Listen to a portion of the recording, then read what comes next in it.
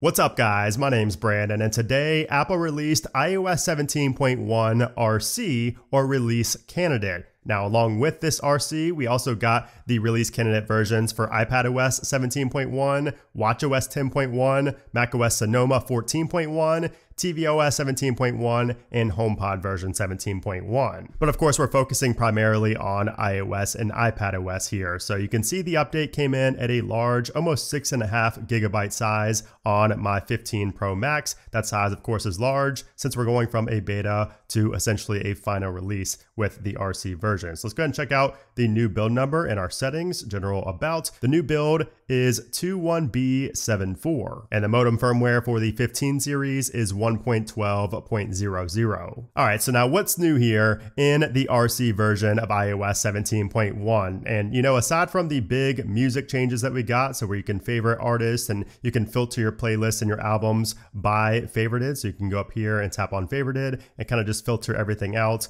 and we have better suggestions and a lot of changes in the music application, which we've talked about over the past few weeks. But aside from that, I think one of the biggest features in this update is going to be inside of our settings and then into general and then into airdrop. And that is this right here, where you can now use airdrop even when you're not right next to another phone. So if you're out of range, your you know transfer will still continue over the internet. So that along with many other features have been added here in iOS 17.1 of which I will talk about in my final what's new video that's coming next week. But in this video, I want to focus on things that are new that I've not already talked about for the past few weeks during the beta cycles. So in the release notes, Apple says that home key support has been added for Matter locks. So if you have a Matter lock in your home, you now have home key support, which is a pretty big deal. And then also in the iPadOS 17.1 RC version, I would assume that we have support for the new Apple Pencil with USB-C that was just announced today. So if you follow me on Twitter or X, you saw that they did announce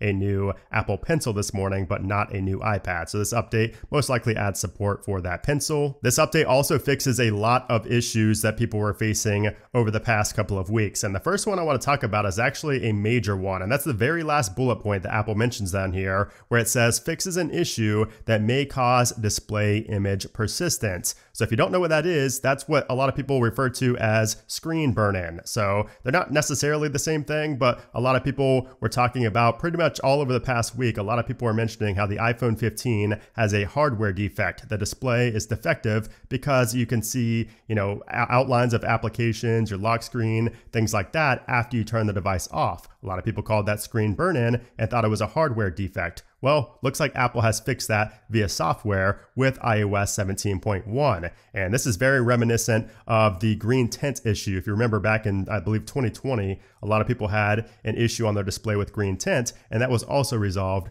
via software update when a lot of people thought it was a hardware defect. So if you personally faced this screen burn-in issue, please let me know in a comment down below if it has been fixed for you after updating to the RC version. I know Apple says it's been fixed, but I like to hear from people, you know, that actually face this issue to make sure it's been fixed because me, myself, I've not faced this. There's also a big fix for the keyboard. So a lot of people had issues with the keyboard lagging and freezing. That appears to be fixed here in 17.1 because Apple says that this update fixes an issue that may cause the keyboard to be less responsive. This update also resolves an issue where the names of incoming callers may not appear when you're on another call. So this happened to me once, and this happened when I was on 17.0. So this has been fixed here in 17.1.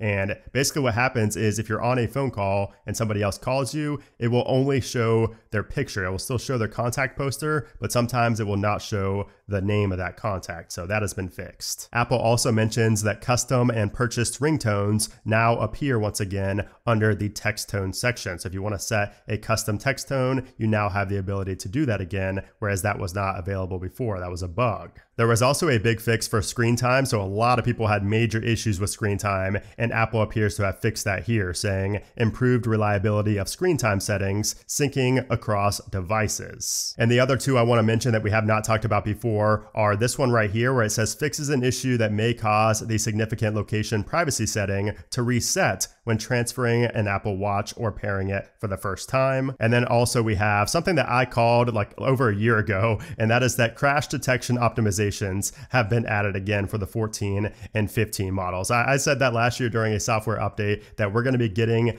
optimizations or fixes to this for the next year or two, maybe even longer. And that appears to still be the case. It seems like Apple really has to work out the kinks and, you know, not having that false trigger because that's caused a lot of issues with first responders responding to an accidental trigger at a theme park or something like that. So that should be better again with 17.1. And as expected, we do not have the journal application yet. As I mentioned a few weeks ago, we're probably not getting that in 17.1. That is most likely coming in 17.2, which, you know, is kind of similar to the freeform application last year, which came in 16.2, not 16.1. So I would expect to see the journal app in 17.2. Now, as far as the performance and the battery life goes, I've not really noticed any difference, but I've only been using the software for about an hour. So it's really hard to say just yet. I will have a better, you know, update for you guys and more of a real life experience by this weekend. I will give you a follow up review on the software this weekend. And of course, in my What's New video next week. But I'm going to run a quick Geekbench 6 test here to see how we score. All right, so we scored a 2932 on the single core and a 7316 on the multi core. And you can kind of see here how that compares to previous versions. So it looks like we scored higher than the previous beta. So that's a good sign. And of course, I will run another Geekbench test later this week into this weekend to see how those scores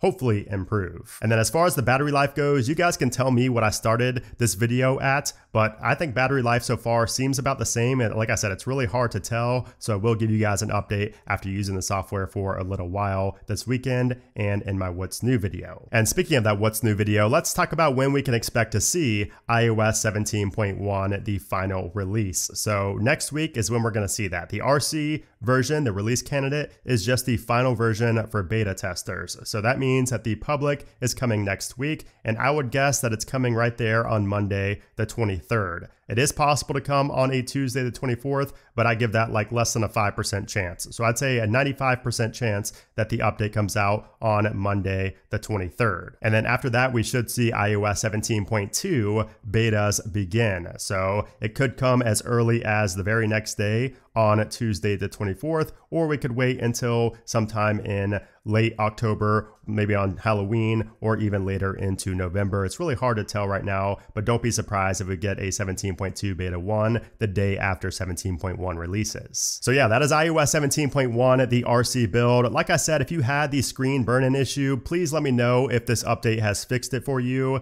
And I'm really curious to see if that's been fixed via software because that's a fascinating bug that, again, we haven't really seen since the green tent bug in 2020. Oh, and one last thing I wanted to mention is that the airdrop speeds seem to have been improved here with not just the RC, but also I first noticed it in beta 3. So this doesn't have anything to do with name drop or, you know, airdrop when you just hold devices next to each other. I'm talking about physically going into photos and then going to airdrop something. I noticed that it's faster for some reason here in the 17.1 betas. So that could have something to do with the new airdrop feature where it finishes, you know, over the internet. This feature right here it could have something to do with that, but it just seems like everything is a little bit faster with airdrop. So that is also a welcome change I've noticed. But anyways, that's 17.1, the RC build. Stay tuned for my what's new video next week where I cover all of the new features and changes in depth. I didn't want to just cover everything in this video and make a duplicate video next week. So hope to see you guys there. Hope you enjoyed this video. If you did, I would appreciate if you gave it a thumbs up. Also make sure to subscribe for a lot more iOS 17 videos like this one. But anyways, guys, thanks again for watching and I'll see you soon.